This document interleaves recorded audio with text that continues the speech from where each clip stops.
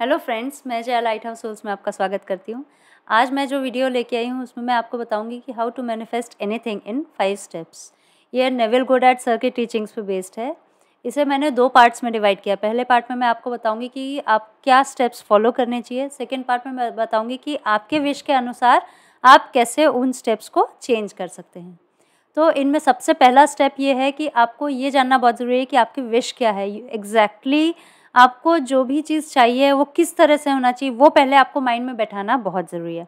फिर second point है कि आपको आपके मन के आँखों से उस चीज़ को देखना बहुत ज़रूरी है। जितना आप माइंड से क्लैरिटी से देख सकेंगे, उतना अच्छा आप सबकॉन्शियस माइंड को एक फ़ीड दे सकेंगे। ठीक है? फिर अगला स्टेप है थर्ड स्टेप है कि you have to fill it up with the emotions because क्या होता है कि इमोशंस से वो चीज़ और निखर के आती है, समझ के आती है समझ में आती है अपने सबकॉन्शियस माइंड को कि एग्जैक्टली exactly आपको क्या चाहिए। ठीक है? और उसके बाद चौथा स्टेप है you have to keep filling up with the emotions आपको उसमें इमोशंस कंटिन्यूसली डालते जाना है अनटिल एक एक्सप्लोजन हो। एक्सप्लोजन किस चीज़ का? एक्सप्लोजन आपके फीलिंग्स का एक्साइटमेंट का जॉय का। जब वो चीज़ आपके हाथ में आ जाए तो आपको जो फीलिंग्स एक्सपीरियंस होंगी। वो एक्सपीरियंस जब तक आप फील ना करने लगो तब तक के आपको इमोशंस का खाद पानी फ्यूल डालते रहना है ठीक है? फिर फिफ्थ पॉइंट है you have to let it go and surrender give it to the divine and believe on the divine power that जब टाइम uh, होगा तो आपके हाईएस्ट गुड में होगा तो वो आपके लिए रियलिटी में वो चीज़ आ जाएगी ठीक है? तो ये तो हो गए फाइव स्टेप्स अब जो कुछ पॉइंट्स आपको ध्यान रखना बहुत ज़रूरी है। कोई भी मैनिफेस्टेशन टेक्निक्स आप यूज़ करें तो ये चीज़ें हमेशा ध्यान रखिए।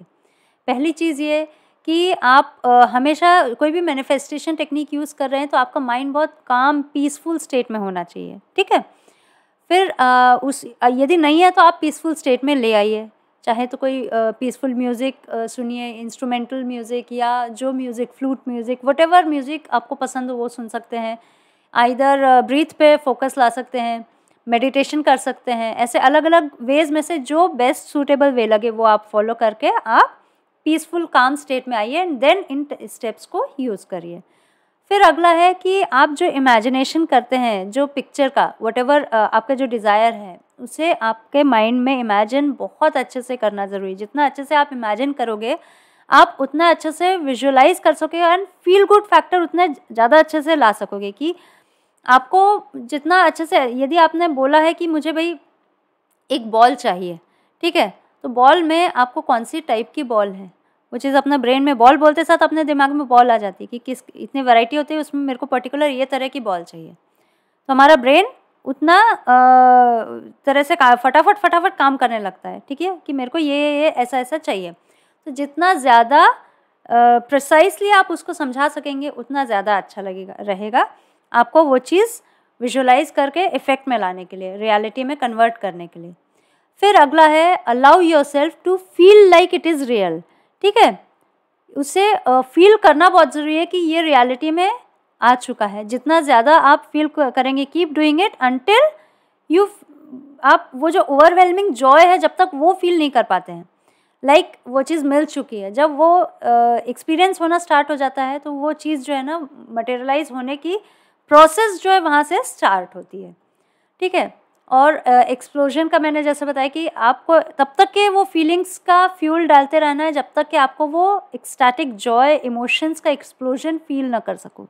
तब तक के आपको इमोशंस डालते रहने हैं। ठीक है? एंड uh, उसके बाद फिर लेट इट गो करना बहुत ज़रूरी है बिकॉज़ ये नहीं करोगे तब तक कि वो चीज़ ये प्रोसेस जो है कंप्लीट नहीं होगी।